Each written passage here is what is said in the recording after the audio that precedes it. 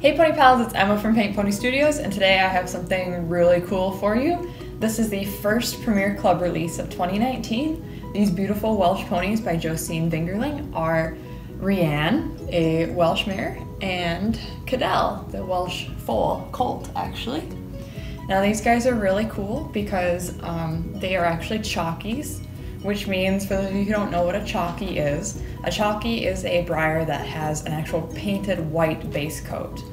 Lots of Breyers are just painted on the bare plastic, um, but these guys, as you can tell with how sharp and crisp their markings are, they have a white base coat that has then been masked off and painted on top of. So they have this really soft look and their white markings are super crisp. All right, so um, Rhian and Cadell are the first release of 2019 for the Premier Club, and they're both uh, sculpted and designed by Josine Vingerling. I, I, can actually read you guys. We got this letter from Stephanie at Breyer, their vice president of marketing.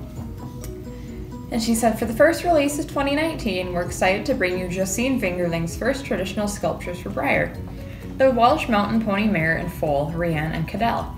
Josine has previously sculpted Django for the 2016 Stablemates Club, and we were thrilled to have her both sculpt and paint the initial deco for this beautiful new pair. Josine's talents extend beyond sculpting and painting, as you can see for yourself in her frame-worthy sketch of Rhian and Cadell you've received with this letter, a Premier Collection exclusive. From the way their positioning connects them to the incredible soft hues of their coats, which really pop thanks to a chalky white base coat, Rhian and Cadell are a stunning example of what the Premier Collection is about. We can't wait to get this sweet set into your hands this May. And they are absolutely gorgeous. Let's see what the COA has to say. Congratulations, you now own two of the most beautiful and unique models made by Breyer. Rhian and Cadell are the first releases in the 2019 Premier Collection of new sculptures featuring exquisite hand-painted decoration. The Welsh Mountain Pony, or Section A Welsh Pony, originally called the Mountains of Wales home, where they were used for everything from farm work to riding mounts. While diminutive in stature, the Welsh pony's combination of refinement and strength leads them to being exceptional riding and driving ponies. In her first traditional scale sculptures for Breyer, artist Josine Vingerling dutifully captures Welsh mountain pony characteristics such as a delicate head with bold eyes that shine with intelligence and a compact yet muscular body. A multi-talented artist, Josine also painted the prototypes for Rhian and Cadell. So we have a nice dapple gray mare, and she's actually flea bitten too. Let's pull this guy aside and take a look at her. So she has these really, really nice, very subtle, soft dapples. And then this is all overlaid with this lovely flea bitten coat. Striped hooves complete the look, and yes, they are carved. There might be a little bit of sand in there. we went to the beach earlier. But as you can see, like her frogs are carved out, just absolutely beautiful. And up at her face, the lovely blaze. She's got a chin spot, very, very cute. And flipping over to the other side, what a lovely shaded mane and tail. I mean, just look at the like detailing on that. The way the hair flows and how the paint moves with it. Just very, very beautifully painted. And she's even got a little Sabino belly spot too which is a characteristic of Welsh ponies. You can have Sabino in Welsh. Um, overall, I mean, I, I'm very happy with her. I think she's an absolutely lovely, lovely mare.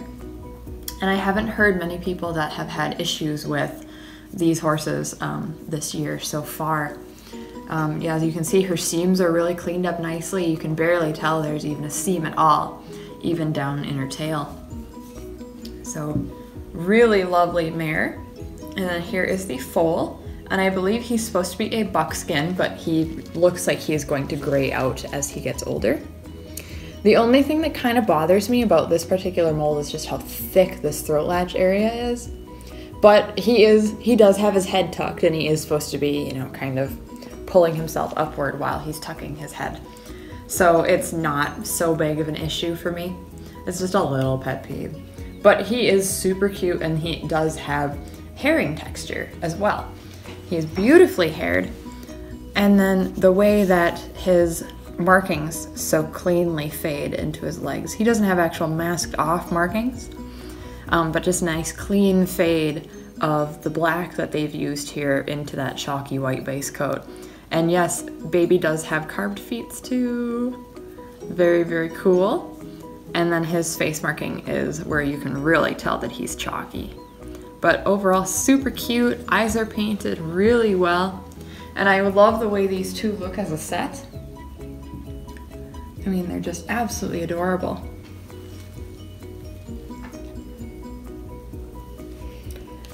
Now the other Premier Club collection horses this year, um, apparently the next one is going to be a run by Jen Scott. Um, some of you, some of you may know her for sculpting the stablemates of Allegro and resins such as CoverGirl and Anise. And I believe Levi is one that she's done as well, um, which I'm super excited for because this will be her first traditional sculpture for Breyer. And when her resins, her traditional size resins, sell for about 500 bucks a pop blank, I think getting a $200 version in the Premier Club is gonna be really cool. Now we have yet to have any clue about what breed or color that's going to be, except that um, on, in this letter here, it says it's a breed and pose that are frequently requested. So it kind of makes me wonder what Breyer has in store for us. And then after that, um, we have another Bridget Eberl mold, which I'm really excited for. Arabs, drafters, and warmbloods are what Bridget is like really known for, and she just nails them every time. So this is apparently her first cold blood for Breyer. I think it's some sort of Russian cold blood drafter, which are big, hefty, chunky horses, and I am super excited to see it. Um, it says the model is now underway with the tooling engineer, and a resin copy is with Sommer Prosser who is going to be doing the paint design. And then at the end of the year, we are going to have a stablemate model with a brand new sculpture by artist Laura Skillern. Um, for those of you who know the Don't Eat the Paint blog, that is Laura right there. All right, guys, we have the first release in the 2019 Premier Club. We have Rhian and Cadell. Um, what what release are you most excited for? I'll put a little poll up in the corner. Are you you really in love with these, or are you still looking forward to the Jen Scott horse or the Bridget Eberl Cold Blood? Let us know up there or in the comments below, and I will see you in the next video. Bye!